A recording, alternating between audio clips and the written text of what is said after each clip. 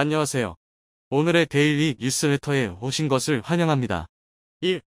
확장된 시장 2. 유럽의 형편없는 무기 3. 위대한 후발자 한번 진실을 알아봅시다. 불가리아 매체는 전 세계에서 가장 강력한 차세대 전차 순위를 발표했는데요. 이 때문에 불가리아 정부가 한국의 사전 뭉치를 들고 방문하는 일이 벌어졌는데 도대체 불가리아에서 무슨 일이 벌어지고 있는지 자세하게 알아보겠습니다. 최근 열신에 따르면 구소련제 무기들로 무장하고 있던 불가리아가 우크라이나 전쟁으로 인해 동유럽 국가들의 무기 도입 경쟁이 가속화되고 있는 가운데 가성비 높은 무기 체계를 도입하기 위해서 대한민국과 접촉할 것이라 밝혔습니다. 이는 폴란드를 기점으로 루마니아에 이어서 이들 국가보다 경제력이 약한 불가리아까지 기존에 운용했던 구소련제와 동구권 무기 체계를 버리고 군사력 증강을 위해 새로운 대안을 찾고 있으며 그 해결책으로 제시된 것이 대한민국의 무기체계라는 것인데요. 불가리아가 대한민국에게 손을 뻗은 이유가 한국의 7기동군단과 관계가 있다는 것이 밝혀져 화제가 되고 있습니다. 불가리아가 운영하는 무기들은 이미 60년이 넘은 구소련제 무기들이 대다수인데요. 러우 전쟁을 통해 드러난 러시아의 무기체계가 그 한계점을 드러내어 실제 전쟁 상황에서 그 효용성이 떨어지며 현대전 양상에서 큰 위력을 발휘하지 못하는 것을 이미 전 세계가 실시간으로 목격했죠. 때문에 그간 무기 시장에서 러시아는 본인들이 가지고 있던 세계의 화약고라는 입지를 잃어버렸고 이 때문에 엄청난 기술력과 성능을 자랑하고 심지어 저렴한 가격까지 갖춘 한국에서 전차와 자주포 도입뿐 아니라 전투 장갑차와 차륜형 장갑차까지 육군의 대규모 도입을 추진한다는 것인데요. 여기에 더해 현재 육군 전력 위주로 K방선을 도입한 폴란드와 루마니아와 달리 해군에서 필요한 잠수함과 전투함까지 도입할 계획이라 밝혀 전체적인 규모는 폴란드가 한국을 방문했을 때와 비슷할 것으로 추정됩니다. 특히나 이번 불가리아가 제시한 프로젝트 역시 현재 전운이 감돌고 있는 서구권에서 필요로 하는 빠른 무기 도입뿐만 아니라 현지 생산이 가능할 수 있도록 진행될 계획이어서 이미 폴란드, 인도, 노르웨이, 핀란드, 튀르키예 등 여러 국가들에게 대한민국의 자랑스러운 빠른 배송 문화를 보여준 전례가 있는 한국이 아니면 불가능하다고 불가리아 방산업계와 현지 여론 모두 입을 모아 말하고 있는데요. 이러한 상황 속에서 불가리아의 무기체계 도입 계획은 특히나 해군력 증강에 그 의의가 있다고 할 수 있습니다. 러시아 연방은 흑해에 대규모 해군 기지를 두고 있으며 이 지역에서 러시아와 유럽, 아시아를 연결하는 중요한 해상 교통로를 보호하는 작전을 수행하고 있죠. 흑해를 끼고 러시아 함대와 대치하고 있는 불가리아에서는 현재 운용 중인 낡은 소형 전투함 몇 대로는 이런 대규모 함대를 거느린 러시아를 상대하기 어렵다는 분석입니다. 때문에 불가리아의 군사력 강화 계획은 2026년까지 해군력과 육군력을 보강하는 1차 사업을 추진하며 6년 후인 2032년까지 공군력을 보강한다는 2차 전력 증강 사업을 마무리할 계획이라고 합니다. 불가리아는 2004년 나토에 가입하며 유럽 집단 안보 체계에 편입되어 있었지만 나토가 요구하는 수준의 군사력 부문의 예산과 증비를 만족시키지 못해왔는데요. 그동안은 특별한 안보 불안이 없어 전력 증강과 군사기술 확보에 손을 놓고 있었지만 러시아와 우크라이나의 전쟁이 장기화되고 거기에 더해 세르비아와 알바니아인들 간의 민족주의적 갈등에서 비롯된 코소보 분쟁의 지속으로 인해 발칸반도의 군사적 긴장이 높아지면서 안보 유지의 발등에 불이 떨어진 것이죠. 때문에 불가리아의 방산산업 현대화를 위한 목소리가 커지고 있고 군사력 증강에 대한 자국의 의지도 확고한 것으로 보여지는데요. 그러나 동유럽 국가 중에서도 경제력이 빈곤한 축에 속하는 불가리아는 서유럽이 생산한 값비싼 무기체계를 도입하기 어렵다는 문제가 있었고 이는 불가리아의 발목을 잡았죠. 그래서 불가리아 현지 매체와 방산 관계자들이 협력하여 각 나라가 보유한 전차별로 비용 편익 분석을 통해 자체적으로 순위를 매긴 차세대 전차 랭킹을 발표했는데요. 이 분석에서 대한민국의 K1표 전차가 자랑스럽게 1등으로 꼽혀 화제가 되고 있습니다. 그 내용을 잠시 보고 오겠습니다. 만약 당신이 최고의 전차를 가지고 있는 나라가 어느 나라라고 생각하느냐는 질문을 듣는다면 애국심이 투철한 사람들은 일단 러시아에 있다고 대답을 할 것이고 그 다음 독일과 미국이 있음을 기억할 것이다. 군사기술에 해박한 사람들은 이스라엘을 언급할지도 모른다. 하지만 현실은 어떨까? 우리가 뽑은 세계 최고의 4세대 전차 top 5를 소개한다. 이 내용은 Bulgarian Military 군사 전문지가 뽑은 차세대 전차 랭킹의 전문인데요. 불가리아 현지 매체의 K2 흑표 전차에 대한 평가를 번역해온 내용입니다. 자랑스러운 대한민국의 K2 전차가 어떤 평가를 받는지 불가리아 현지에서의 반응을 살펴보겠습니다. 오늘날 전투 장갑차 시장 상황은 최고의 전차들 중 일부가 대한민국에 의해 생산되고 있을 정도로 급변했다. 그리고 이런 사실을 가장 극적으로 확인해주는 존재가 바로 대한민국이 만든 현대식 전차인 K 블랙팬서이다. K 블랙팬서는 오늘날 대한민국의 차세대 주력 전차라고 할 수 있다. 국방과학연구소와 현대 자동차의 자회사인 현대로템이 함께 개발했지만 국산화 비율은 내부 전자장비 개발 수준에 그쳤다고 볼 수 있다. 공식적으로는 미국의 M1 에이브람스를 기본으로 설계된 또 다른 한국 전차 K1을 더욱 더 진보시킨 후속 개발 형태가 K2 Black Panther라고 보도되고 있다. 그러나 사실상 K2 Black Panther는 미국의 M1, 에이브람스 독일의 레오파드 프랑스의 르클레르 그리고 구소련 연방의 T80 등 세계 최고 수준의 4개 전차들의 장점만을 조합해서 만든 하이브리드 전차이다. 예를 들어 K 블랙팬서의 능동 방호체계는 러시아 T-72 및 T-90 전차의 모습과 매우 흡사하지만 동시에 전자장비는 순수하게 한국에서 개발된 것들이다. 따라서 K2 전차는 혁신적인 전차라고 불리우기보다는 반대로 기존 주력 전차들의 최고의 장점들을 결합한 전차라고 부르는 것이 맞을 것이다. 이 흑표의 중량은 55톤이며 전폭 3.6m, 전장 7.5m 전고 2.2m의 크기이다. 이 전차는 전차장 조종수, 포수 등 3명으로 구성된 승무원들에 의해 조종된다. 탄약수는 따로 없으며 K1 탱크와 마찬가지로 자동장전 시스템으로 교체되었다. K 블랙팬서에는 arm 내장형 유기압식 서스펜션 ISU가 장착되어 있어 각 서스펜션 balancer는 독자적으로 작동 가능하다. 덕분에 이 전차는 차체를 좌우로 기울일 수 있으며 앉기서기, 무릎 꿇기 등의 자세도 취할 수 있다. 포장된 도로 위에서 최고 속도는 시속 70km/h까지 낼 수 있고 포신의 길이가 6.6m에 달하는 55 구경장 120mm 독일 활강포로 무장하고 있다. K 블랙팬서의 흥미로운 특징 중 하나는 밀리미터 범위의 파장을 사용하는 M&W 레이더 경보 센서의 존재이다. 이 시스템은 K2 블랙팬서를 향해 날아오는 대전차 미사일이나 포탄을 찾아내 자동으로 적 센서를 교란시키기 위한 전차 충전재를 뿌리거나 연막탄을 발사하여 위협으로부터 숨을 수 있게 해준다. 하지만 K2 블랙팬서는 이런 수많은 장점들과 각종 첨단 부가 기능을 가지고 있음에도 불구하고 큰 단점 하나를 가지고 있는데 그것은 바로 비싼 가격이다. K 블랙팬서의 가격은 850만 달러 당시 환율로 하나 78억 정도이다. 그럼에도 불구하고 K2 블랙팬서는 매우 우수한 전차로 보인다. 게다가 K2 블랙팬서는 강력한 플러스 요인이 하나 더 있는데 그것은 바로 이 전 차가 이미 양산되고 있고 심지어 해외로 무료 없이 수출되고 있다는 사실이다. 이상이 불가리아 군사 매체에서 전 세계의 차세대 전차 중 1등으로 꼽은 K2 표전차의 설명이었는데요. 대체로 우수하다는 평가이지만 틀렸거나 미흡한 부분이 눈에 띄었습니다. 시청자 여러분이라면 충분히 예상 가능한 내용이었다고 생각하는데요. 하나하나 짚어보겠습니다. 1. 국산화 비율 앞서 불가리아 매체에서 말한 것과는 다르게 K2 흑표전차의 국산화율은 84%에 달합니다. 무기 국산화율을 산정하는 기준은 부품과 가격 비중인데요. 통상적으로 국산화 비중이 60%를 넘으면 당당하게 made in Korea로 인정받는다고 합니다. K2전차 개발 당시 가장 큰 이슈가 되었던 것은 독일산 변속기를 장착했다는 사실이지만 지금 세계 방산 시장을 장악하고 있는 K2 전차가 한국산 명품 무기라는 데에는 아무도 토를 달지 않고 있죠. 중요한 것은 부품이 어디서 왔는지가 아니라 누가 이 무기 체계를 조립했는지가 핵심이기 때문입니다. 국산 부품이 아무리 많아도 이 체계를 통합해 하나의 장비로 거듭나게 하는 기술이 없다면 아무 의미가 없기 때문이죠. 2. 독일 활강포 K2 탑재된 55 구경장 120mm CM8 활강포는 대한민국 국군의 자체 개발품으로 알려져 있으며 불가리아 매체가 소개한 내용은 앞서 설명했던 독일산 변속기를 자료 수집 단계에서 오인한 내용이 아닐까 생각됩니다. 3. 비싼 가격 이 말을 듣고 불가리아 매체에 대한 공신력이 의심되는데요. 본인들이 뒤에 언급한 다른 전차들의 가격을 보면 왜 이런 말을 했는지 정말의 문입니다. K2 흑표 전차의 가격은 하나 78억 원 정도라며 비싸다고 평가했는데 본문에서 5위 집계된 튀르키의 알타이의 가격은 무려 152억 원에 가깝고 3위에 집계된 프랑스의 르클레르 전차도 147억이라는 엄청난 가격을 자랑하고 있죠. 아마 본인들이 도입하기엔 비싸다는 평가이지 않을까 조심스럽게 예상해봅니다. 이 기사를 통해 한국 무기의 현재 입지가 어떤지 잘 알 수 있었는데요.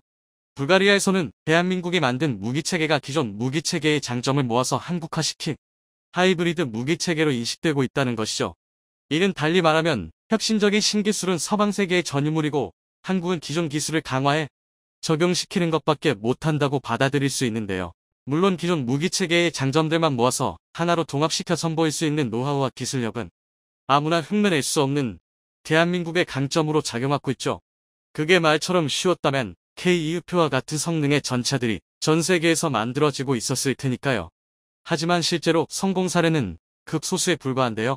본문에서 5위에 집계되었던 알타이 전차도 티르키의 방산업체 오토카르가 현대로템의 설계 지원 및 기술 이전을 받아 K2의 설계를 기반으로 개발해 낸 것이기 때문이죠. 이는 불가리아가 한국과 무기 협약에 대한 접촉이 전혀 없었던 상황에서 갑작스레 불가리아가 대규모 무기 도입 사업을 추진하기로 결정하면서 일어난 일로 치부할 수 있을 것 같습니다. 노르웨이에서 절충적 조건, 충족으로 인한 수출 실패라는 고배를 마셨지만 극복해내고 폴란드와 인도 등 세계 각국에서 한국 무기 도입을 강력하게 추진하고 있는 가운데 앞으로 동유럽 무기 시장 역시 대한민국이 휩쓸 것으로 전망되고 있는데요. 이제 가게에 불을 지르겠다고 협박하는 고객이 있다고 한다면 믿으시겠나요? 인니가 하는 행태가 이와 다를 바 없습니다. 타이에서 인도네시아가 분담금을 다 내지 않으면 절대로 시제기를 넘겨줄 수 없다고 단호하게 밝히자 KF-21로 헛꿈꾸던 인니에서 당황해 예상 밖의 행위에 나섰습니다. 바로 KF-21의 소재 공급을 차단한 것인데요. 거기에 그치지 않고 한국도 참가하는 연합훈련에 북한군을 초청하는 어처구니 없는 짓까지 저지르며 한국을 도발하고 나섰습니다. 그런데 한국 기술진들이 더 이상 금속이 필요하지 않은 신소재를 개발해내 인도네시아의 방해가 헛수고가 돼버렸다고 하는데요. 이번에 KF-21에 도입된 신기술은 미국 최강의 전투기 F-22에 적용된 것과 동등한 수준의 기술이라고 합니다. KF-21 보라매가 완전히 새로운 차원의 전투기로 재탄생한다는 소식 자세히 알아보도록 하겠습니다. 지난 21일 인도네시아 정부는 내년 6월부터 인도네시아에서 채굴되는 보크 사이트의 수출을 전면 금지하겠다고 발표했습니다. 조코이 대통령은 성명을 통해 국내 보크 사이트 가공, 정제 산업을 장려하기 위해 내년 6월부터 보크 사이트 원광 수출을 금지할 것이라고 밝혔습니다. 보크 사이트는 알루미늄의 원료가 되는 광물인데요. 인도네시아는 보크 사이트 매장량 5위 국가로 수출의 기준으론 세계 2위에 올라 있을 만큼 많은 양의 보크사이트를 수출하고 있습니다. 알루미늄은 첨단 산업 구조를 뒷받침하는 현대 문명에 있어 절대 없어서는 안 될 금속 중 하나입니다. 특히 알루미늄 합금은 가벼우면서도 높은 강도를 가지고 있어 항공기 동체의 주 재료로 사용되고 있죠. 이는 우리가 만들고 있는 국산 전투기 KF-21 보람에 역시 마찬가지입니다. 즉 인도네시아는 KF-21을 받을 수 없게 되자 한국이 생산하는 걸 막겠다고 알루미늄 원자재의 수출을 금지시켜버린 것이죠. 하지만 이는 인도네시아의 치명적인 자충수가 될 것으로 보입니다. 인도네시아 낙후된 산업 구두상 자원 수출이 전체 GDP의 상당 부분을 차지하고 있습니다. 조코이 대통령은 인도네시아에서 채굴된 보크사이트기 국내에서 소비되지 않고 전량 수출되어 인도네시아 산업 발전을 지체시키고 있기 때문에 수출 금지 조치를 내렸다고 밝혔는데요. 이유는 그럴듯하지만 인도네시아의 뜻대로 돌아가게 될 것 같진 않습니다. 인도네시아는 국내 산업 활성화를 위해 2020년부터 니켈 수출 금지 조치를 유지하고 있는데요. 이러한 조치는 실제로 효과가 있어 해외 기업들이 인도네시아에서 니켈 산업 투자를 늘렸고 이후 니켈을 제품 형태로만 수출하여 수출액도 20배가 넘게 늘어났습니다. 하지만 알루미늄은 니켈과는 전혀 경우가 다른데요.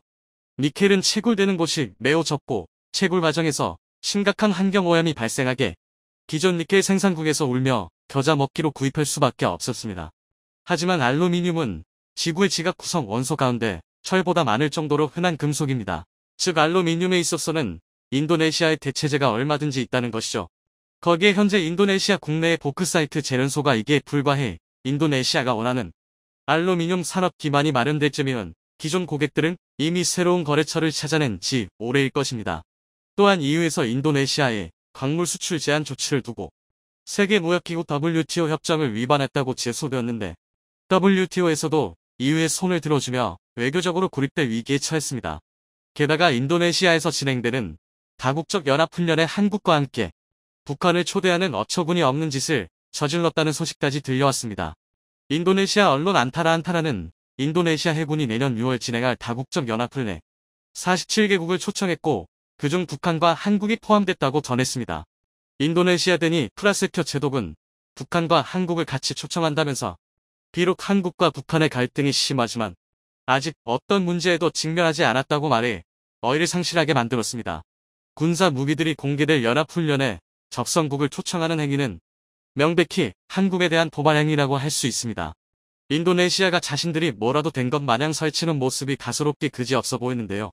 막상 한국은 인도네시아의 보크사이트 수출 동제 거의 타격을 받지 않을 것으로 예측되고 있습니다. 이미 중국과 일본을 통해 원자재 수입을 한 곳에 의존하는 것은 위험하다는 걸 깨달은 한국은 원자재 수입 창구를 다변화하는 데 많은 노력을 기울여 왔습니다. 덕분에 인도네시아가 지금 당장 한국으로 향하는 보크사이트 수출을 끊는다고 해도 부족한 물량을 보충하는데 그렇게 많은 시간과 노력이 들지 않을 것으로 보입니다. 게다가 카이에서는 KF21의 주재료로 알루미늄이 아닌 신소재를 적용하고 비중을 늘려나갈 계획을 세우고 있어 인도네시아의 방해는 혼자만의 삽질에 그치게 될 것으로 보이는데요. 카이에서는 탄소섬유 복합재 신기술을 통해 KF21의 동체, 주익 등 대형 부품을 금속재가 아닌 복합재로 제작하여 더욱 가볍고 튼튼하면서도 레이더 피탄율이 낮은 궁극의 스텔스기에 다가서기 위해 연구, 개발을 진행 중입니다. 복합 소재는 비금속 소재이면서도 강철의 수배에 달하는 강성과 가벼운 무게, 레이더파에 대해 낮은 반사율을 가지고 있어 알루미늄 합금을 대체할 차세대 항공 소재로 각광받고 있습니다. 미국의 4세대 전투기 F-16은 복합재 사용 비율이 10%에 불과했지만 F-22는 26%, F-35는 40%에 육박하고 있습니다. 우리나라는 T-50 고등훈련기에 복합재 소재를 적용하는 과정을 통해 항공 복합재, 설계 및 성형 기술을 획득하는 데 성공했습니다. 이를 통해 현재 KF-21의 복합재 비율은 20%를 목전에 두고 있으며 복합재 소재 개발은 미국 F-35 전투기에 적용되는 것과 동등한 수준에 도달했다고 합니다. 잘못한 놈이 성낸다고 지금 인도네시아가 하는 꼴이 딱 그렇습니다. KFX 사업이 가장 힘들던 시기에 기동수를 때려놓고는 사업 협력이 이루어지지 않는 이유를 한국에서 찾고 있는데요. 인도네시아가 간을 보는 사이 새로운 파트너들이 한국과 함께하기를 원하고 있습니다. 형제의 나라로 급부상한 폴란드가 한국의 KF-21 사업에 함께하기를 바란다는 건 익히 알려진 사실이었는데요. 최근 폴란드 최대 방산업체인 PGZ의 회장이 직접 KF-21 프로젝트에 참여할 수 있으면 기쁠 것이다. 한국에서 KF-21과 같은 새로운 세대 전투기 연구 개발 사업에 폴란드가 일정 부분 책임을 맡도록 한다면 영광일 것이라고 밝혔다고 합니다. 폴란드 측 도 의인사가 KF-21 사업에 참여할 의향을 공식적으로 밝힌 건 이번이 처음이었습니다. 폴란드는 인도네시아와 매우 비교되는 사업 태도를 보여주고 있습니다. 별의별 핑계를 대며 분담금 지급을 미루는 인도네시아와 달리 폴란드는 지난 30일 계약금의 30%인 1조 2천억 원을 선수금으로 지불했었으나 동상적으로 무기 수출 계약의 선수금이 10% 정도의 그마저도 1년 정도 여유를 두고 지불하는 게 일반적인데 폴란드는 한국이 보여준 배송 속도에 감탄하여 무기 대금을 일시불로 질러버릴 듯한 모습을 보여주고 있습니다. 덕분에 카이에서도 폴란드를 믿을 수 있는 파트너로 보고 향후 KF21의 개량 사업에 함께하고 싶다는 의사를 밝혔습니다. 뿐만 아니라 원조 형제의 나라 튀르키예에서도 KFX 사업에 동참하고 싶다는 뜻을 밝혀왔다고 하는데요. 튀르키예의 항공우주기술 회사인 SDT Space Defense Technology에서 KF-21의 양산 과정에 동참하겠다는 의사를 밝혀왔습니다. SDT에서는 KF-21에 내장된 시뮬레이션 데이터 링크 체계를 공급하고 있는데요. LIG 넥스원에서 SDT를 하청업체로 계약을 맺었고 향후 양산 프로젝트에 참여하게 되었다고 합니다. 우리나라가 차세대 전투기를 독자 개발한다는 소식에 튀르키예에서도 5세대 전투기를 개발한다는 소식이 전해들었었는데요. 실상은 정치인들의 실적 부풀리기용으로 겉껍데기만 그럴듯하게 만들어진 종이 비행기였다는 사실이 드러났었죠. SPT 역시 튀르키예 TFX 사업의 핵심 협력업체였는데 본국의 프로젝트에 이미 가망이 없다는 걸 깨닫고 빠르게 한국으로 줄을 갈아타려 시도하고 있는 것 같습니다. 인도네시아의 바람과는 달리 KF-21 개발은 순풍을 타고 있습니다. 얼마 전에는 KF-21 시제가 시속 1000km의 아음속으로 비행했다는 소식까지 들려왔습니다. 시험 비행을 거치며 KF-21의 비행 속도를 점진적으로 늘려가고 있는데 음속 도달까지 단 한 발만을 남겨두고 있는 것이죠.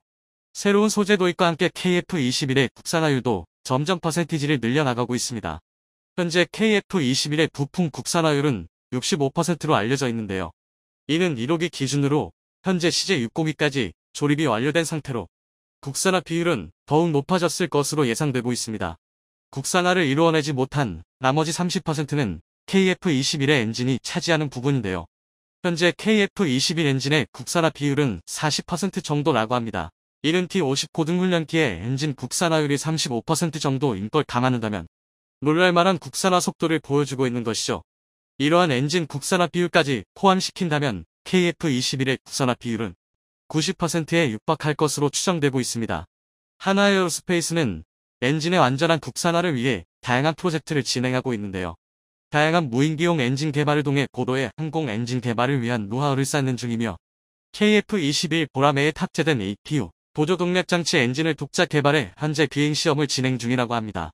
항공기 엔진 독자 개발은 향후 우리나라 항공산업 발전에도 큰 도움이 될 수 있게 최근 공개된 국가전략기술 육성 방안에서도 첨단 항공 가스터빈 엔진 부품이 포함되어 정부 차원에서 엔진 개발을 독려하고 있는 상황입니다.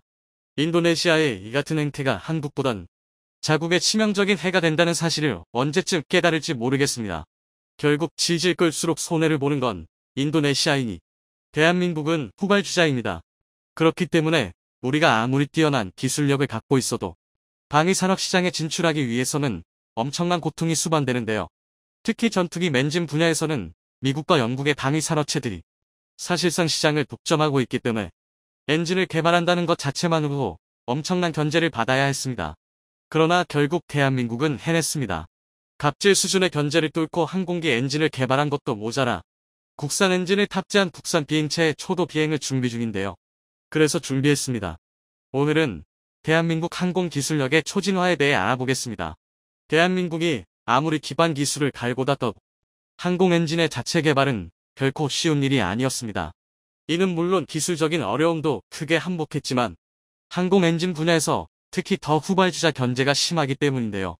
특히 한국 입장에서는 세계 항공 엔진 시장을 나눠먹고 있는 3대 제조사 미국의 제너럴 일렉트릭 GE, 프랫 휘트니 PW, 영국의 롤스로이스 RR의 정보 제한과 수출 통제가 결정적이었습니다. 일례로 한국이 KF-16 최종 조립 국가로 선정되었을 당시 PW는 F-16에 탑재되는 자사 F-100 엔진의 기술이나 시험 등에 관한 정보를 의도적으로 제한했는데요. 지와 한국이 맺은 최종 조립 계약을 무시하고 엔진에 관한 어떠한 정보도 전달하지 않은 것입니다. 이는 상당히 심각한 문제였습니다. 전차 같은 지상 무기 체계야 엔진이 고장 나더라도 가다 서는 게 고작이지만 전투기는 최악의 경우가 추락입니다. 더군다나 한국처럼 인구 밀도가 높은 지역에서는 민간인 피해 가능성이 상당히 높은데요. 그럼에도 불구하고 PW는 F100 엔진에 대해서는 어떠한 정보도 넘길 수 없다고 배짱을 튕겼습니다. 그러나 PW는 가장 중요한 걸 놓쳤는데요. 그건 바로 대한민국이 의지와 집념을 빼면 시체나 다름없는 국가라는 것입니다.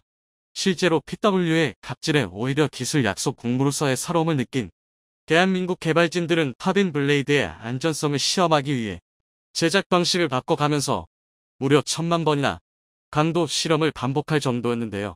그 결과 1997년 시험 비행에 나선 KF-16은 엔진과 동체 부품을 포함해 기체의 41%에 달하는 부품을 국산화시킬 수 있었습니다. 그리고 이런 노력 끝에 현재 한국은 오히려 세계 항공 엔진 3사에 소재 부품을 역수출할 정도로 기술적 성숙도가 충분한 상태인데요.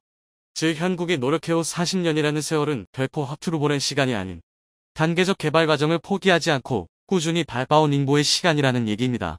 그런데 이런 견제 때문인지 일각에서는 여전히 국산 항공 엔진 개발에 신중해야 한다는 여론도 존재합니다.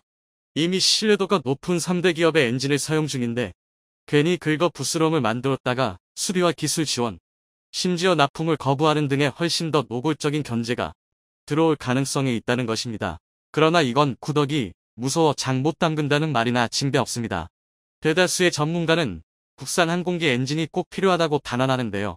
항공 엔진 분야만큼은 퀀텀 점프, 즉 단기간에 기술 격차를 줄이는 것이 불가능하기 때문입니다.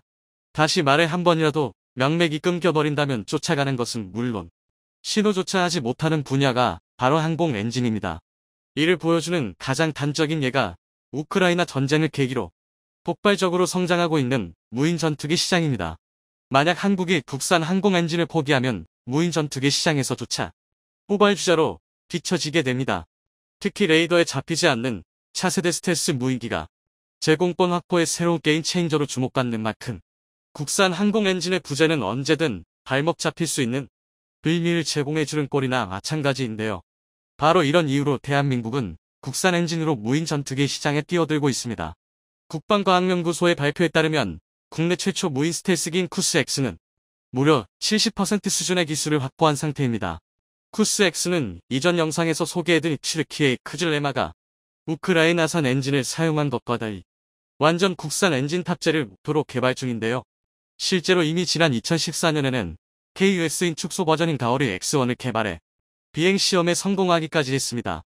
가오리 X1은 전장 10.4m, 전폭 14.8m, 중량 10톤에 달하는 쿠스 X를 46%가량 축소한 시제기 모델이었는데요. 국산 5500 IBF급 터보 엔진을 장착해 1시간 30분 동안 50km를 비행하며 무인 전투기 개발 가능성에 확신을 심어주었습니다. 여기서 끝이 아닙니다. 공개된 쿠스X의 외관을 보면 꼬리 날개가 사라진 모습입니다. 이는 현존하는 스텔스 모형 중 가장 높은 수준의 저빛탄 형상인데요. 여기에 더해 한국형 장거리 유도 폭탄 KGGB를 포함해 각종 신형, 소형 미사일 등이 탑재될 예정입니다. 오죽하면 쿠스X를 목격한 다수의 의심이 미니 B2 폭격기라는 별명까지 붙여줄 정도인데요. 그런데 아직 끝이 아닙니다. 지난 대한민국 방위산업전 DX 코리아 2022에서 대한항공은 KF-21 전투기와 멈티 자율 운항이 가능한 로열 링맨 쿠스 LW를 공개하면서 전 세계 군사 관계자들을 경악에 빠뜨렸습니다. 그도 그럴 때 쿠스 LW는 전장 10.6m, 폭 8.4m의 크기에 현재 개발 중인 국산 터보팬 엔진이 탑재될 예정인데요. 앞서 말했던 것처럼 5500 LVF2라는 이름은 단순히 프로젝트의 일관성을 위한 상징적인 숫자를 의미할 가능성이 큰 탓에 전문가들은 코스 LW의 추력이 최소 800 LBF급 이상은 될 것이라고 전망하고 있습니다. KF-21을 지원하며 함께 현대 임무를 수행해야 하는 만큼 초음속 전투기에 출하는 속도를 갖추겠다는 것입니다. 또한 쿠스 LW도 쿠스 X 못지않게 무장 능력과 스텔스 능력이 중요한데요. 쿠스 LW 또한 쿠스 X와 마찬가지로 접빛단 형상 및 스텔스 기체이긴 하지만 KF-21의 기동성을 따라가기 위해 꼬리날개가 포함된 형태로 개발될 예정입니다. 그리고 무엇보다 중요한 건 KUS-LW가 KF-21과 거의 비슷한 시기에 개발이 완료된다는 건데요. KUS-LW는 2024년으로 예정되어 있는 5500 LBF급 완제 터보팬 엔진의 비행 시험이 끝난 뒤인 2025년 첫 비행에 나설 예정입니다. 이후 추가적인 개선 사항들에 대한 점검을 실시한 뒤 2년 뒤인 2027년에는 곧바로 KT 터보프롭 훈련기와 공중 데이터 연동 테스트, 즉 멈티 기능에 대한 시험을 진행할 예정인데요. 이쯤이면 딱 KF-21이 블럭의 양산을 끈 후 블럭이 개량을 시작했을 때입니다. KF-21과 쿠스 LW를 동시에 개발해 남들보다 빨리 5.5세대, 6세대기를 완성하겠다는 계획인데요. 후발 주자로 시작한 대한민국이 마침내 최상위권 선두로 올라선 것입니다. 이처럼 대한민국은 와신상담의 자세로 철저히 쌓아올린 항공기술력을 한순간에 폭발시키고 있는데요. 비단 얼마 전까지만 해도 이미 검증된 고성능의 엔진과 여러 부품이 방사시장에 널려 있는데 조립만 하면 되는 걸 굳이 개발에까지 나선다며 국산을 고집하는 대한민국을 비난하는 목소리가 컸습니다. 그러나 지금에 이르러서 대한민국의 고집이 결국 옳은 선택이었다는 게 증명되고 있습니다. 대한민국은 해외 의존적인 기술 종속을 탈피하고 미래 방산 시장에서 미국과도 정면 승부를 겨뤄볼 만한 성장 동력을 마련하게 되었습니다. 과거 1990년대만 해도 대한민국과 선진국 간의 항공 엔진 기술 격차는 최소 30년 이상 벌어져 있다는 것이 정론이었는데요. 결코 넘을 수 없는 벽처럼 느껴지던 30년이라는 시간은 어느덧 10년까지 줄어들었습니다. 그리고 이제 앞으로의 10년 동안 대한민국이 또 얼마나 빠르게 발전할지